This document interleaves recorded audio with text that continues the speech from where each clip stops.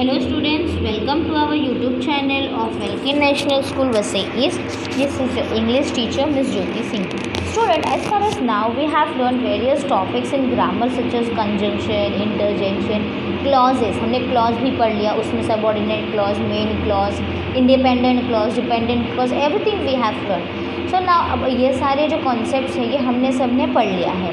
ना how to use this sentence how to use this word in a sentence अब इसे हम कैसे यूज़ करेंगे? So for that we we read different types of sentence right कुछ sentence हमें लगता है कि सिंपल है, कुछ कॉम्प्लेक्स है, कुछ कंपाउंड्स है but how to know how to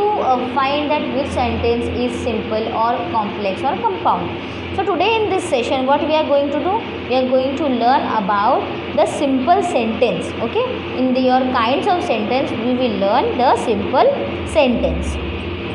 so, a simple sentence is a sentence having one subject and one predicate. Either or both of which may be compound. So simple sentence क्या होता है? जिस sentence में आपका एक subject और एक predicate होता है, या तो आपके कंपाउंड होते हैं बट वहाँ पे compound subject and compound predicate होगा. It means compound subjects means more than one आपका जो सब्जेक्ट है, जो डूवर है, वो एक से ज़्यादा होगा और जो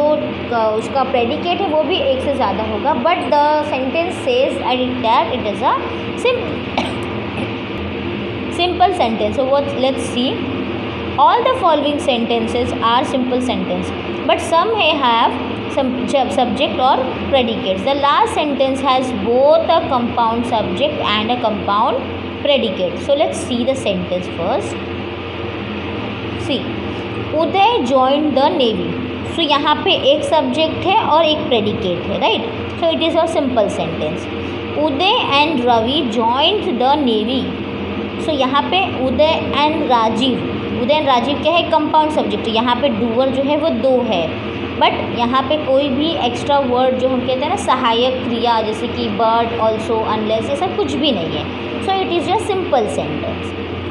although we have two object and two subject so two subject and predicate then also this sentence is your simple sentence Seema sang and danced at the concert so यहाँ पे जो predicate है सी Seema is simple single subject एक ही subject है that is one doer and उसने क्या क्या किया उसने सिंग भी किया उसने डांस भी किया so this is a compound predicate मतलब दो प्रेडिकेट है Seema and Prabha sang and dance at the concert so यहाँ पे कंपाउंड सब्जेक्ट है और कंपाउंड प्रेडिकेट है। So please note that a compound subject does not mean two subjects it means that one subject is made up of two or more nouns or pronouns. In like manner, a compound predicate does not mean two predicates. It means that one predicate is made up of two or more verbs or verb phrases. तो so, यहाँ पे compound predicate का मतलब ये नहीं है कि ये टू प्रेडिकेट है इट ओनली मीन्स दैट उसी एक प्रेडिकेट के अंदर हमारे टू वर्ब्स हैं और उसी एक कंपाउंड सब्जेक्ट के अंदर हमारे टू अलग अलग नाउन हैं okay although it has a compound meaning but जो उसके अंदर एक्शन हो रहा है वो दो है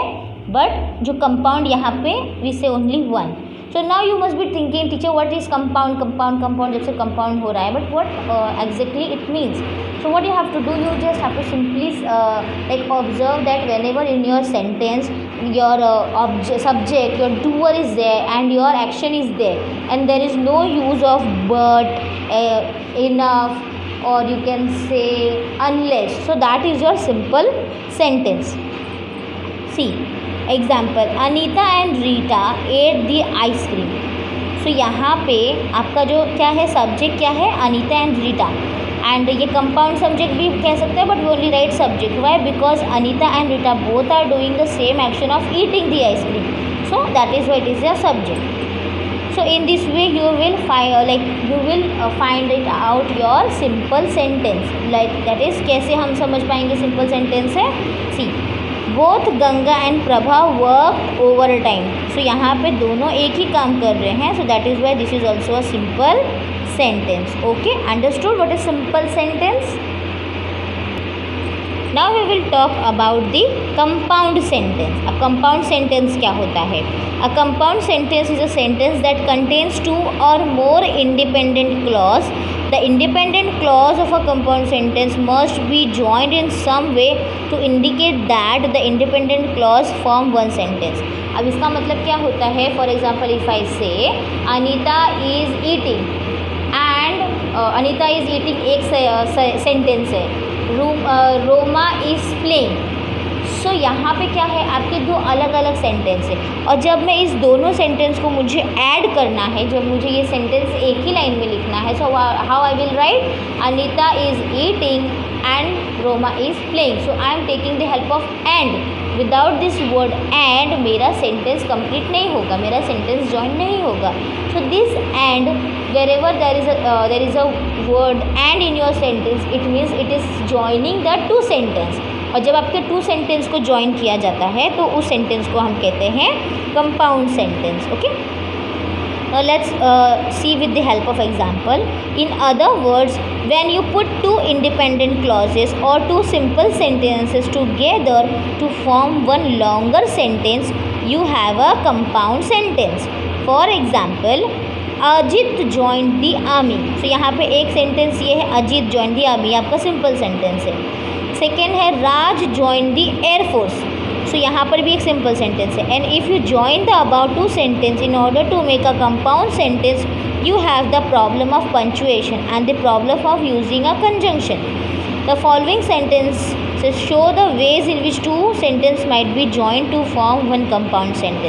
sentence तो यहाँ पे आपके दोनों सेंटेंस को ज्वाइन करने के लिए आपके पंचुएशंस भी चेंज हो जाएँगे। So Ajit join the army comma but Raj join the air force okay तो यहाँ पे एक कॉमा और एक कंजंक्शन है। In this way you will do your compound sentence framing in in the second case उसी सेंटेंस को हम दूसरे वे में भी लिख सकते हैं। Ajit join the army semicolon सी यहाँ पे मैंने सेमी कॉलम यूज़ किया, इसीलिए मेरा बर्ड वर्ड नहीं है। Raj joined the Air Force. And if I say Ajit joined the army but Raj joined the Air Force, conjunction only.